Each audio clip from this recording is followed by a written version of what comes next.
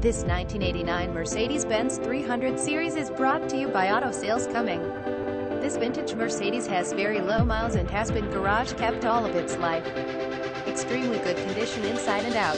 Interior is as new as I it was the first day this car was sold.